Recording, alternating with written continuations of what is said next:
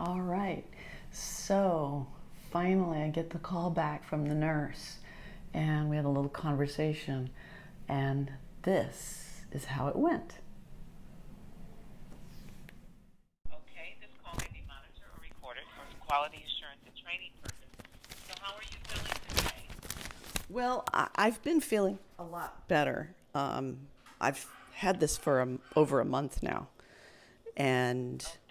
Yeah, and I wasn't able to get in to get the test right away, so it took about um, it took a little over a week to get in to be tested, and I had all the symptoms, just to let you know, except for the lung stuff.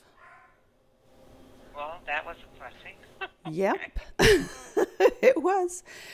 Um, and I and also rash. I did not have a rash. I know that's listed on the the symptom thing. So no rash and no serious coughing lung stuff. But I had I had low grade fever for many many days. It would come and go, and um, there was occasional diarrhea, but not serious. My my partner had that. That was his only symptom. And he came out negative. So we're we're pretty. We, I mean, we know he had it too. Okay, very good. So, how can I assist you today? Well, I just I wanted to know, um, you know, so how obviously how long do we stay in quarantine? Is it from the date that the test came back, or is it from the date that I took the Yeah. test? No, no, no, no. I'm sorry. The date that you took the test. Okay, okay, the date. And for and for yourself, um, you know, what you're saying, like you've had it for so long. If it's been at least ten days since your symptoms first appeared, and you have no, you've had no fever for at least three full days Uh huh. without taking medicine that reduces it, you can discontinue home isolation. Really? Just Okay. be- yes. Um, you know, they're saying that generally, you know, you would not uh, probably, most probably, be contagious. You know, after that point, Oh, all right. Um, That's interesting.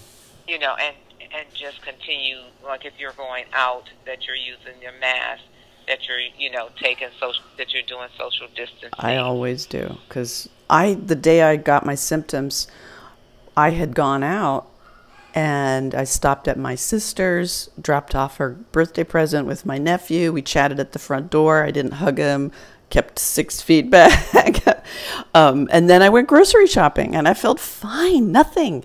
Got home from groceries and it hit me like a train, like like literally. I just doubled over. I was like, I gotta sit down, man. and then I was down for a couple weeks, just not being able to do anything. So yeah, so people, I don't know why people don't wear masks all the time. it's like I want to just slap them. I know, I know. So Yeah, it it.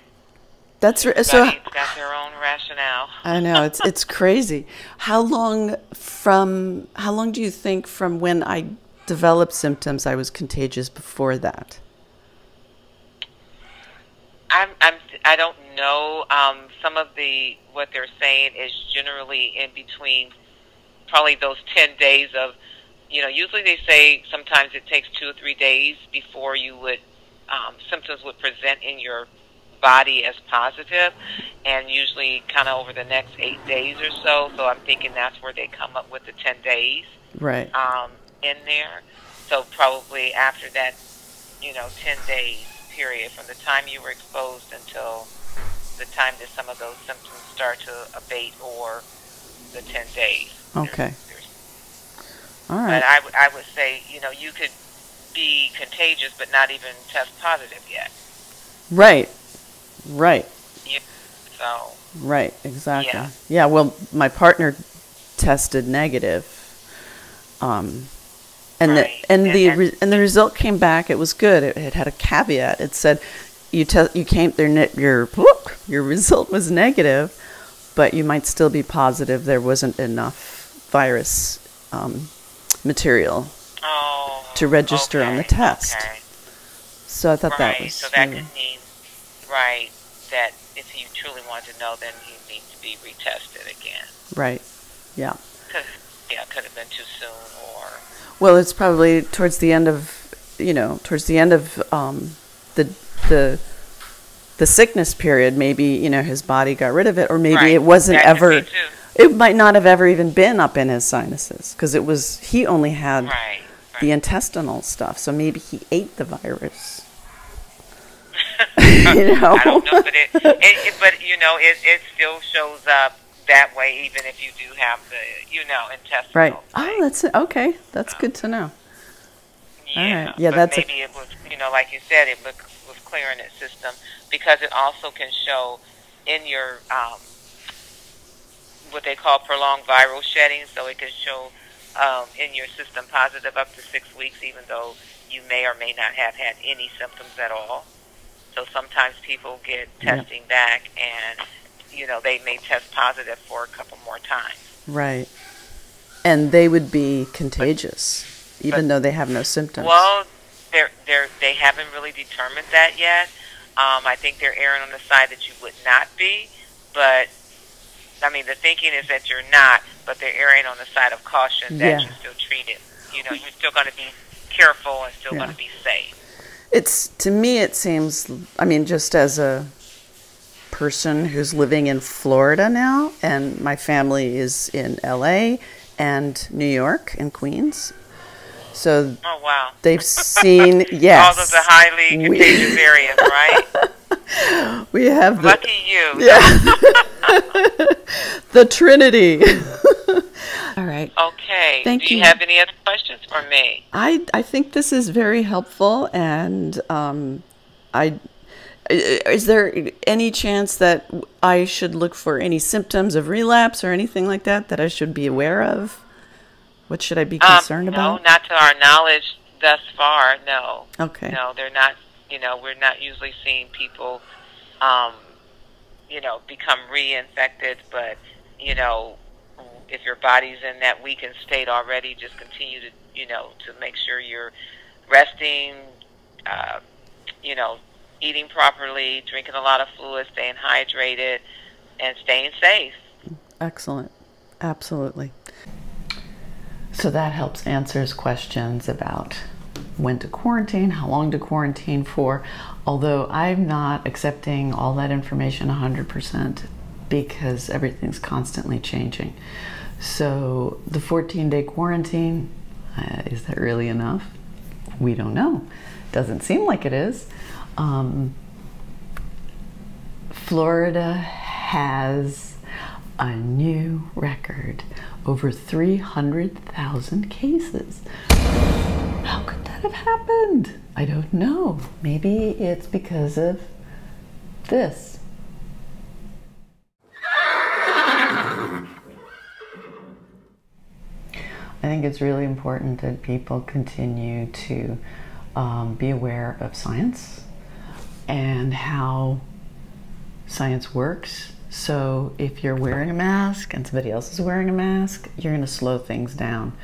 Um, we know the masks aren't 100%, even in hospitals. We know doctors wear them there all day long. We know nurses wear them there all day long. And I've never heard of these strange new um, weird syndromes that people are talking about where you're breathing your own carbon dioxide and you're passing out. I don't think doctors have that experience. I don't think that happens to them.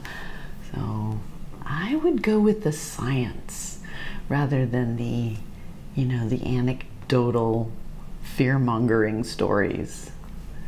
I mean, Florida really has no excuse. New York was the prime example for everyone. Look at what New York did, do the opposite. New York followed the CDC guidelines, don't wear masks, um, social distance. Apparently that didn't work very well. You know, they you know, they had 32,000 deaths in a matter of a couple months. So that wasn't the right thing, but they finally got it under control, and now they they are seeing results. They've had a few days with no deaths. um, there's still some cases because people want to go to Fourth of July parties and you know hang out with each other. And one of these parties, a third of the partygoers were infected. So it's still happening. And if you think it's like the flu, just let me tell you, I've had the flu. I've had the common coronavirus cold. I've had bronchitis. This was none of those. And I didn't have it so bad. But this is putting people not only in the hospital, it's killing them, it's giving them long term health problems. So if you still think this is like the flu, I don't know what else to tell you, but stop listening to anecdotal garbage. It's not like the flu. This is this is killing this killed more people in 2 months than the flu does in a year. So, it's not like the flu. Please be conscious beings. Stop politicizing this. It's a real virus. It's killing people. It's crippling people. We know people who have had strokes from this and are blind. It's not a joke. Wear a mask. It's not a big deal. Don't be a snowflake. Put a mask on. All right. Be conscious beings. Be decent to each other. Be safe.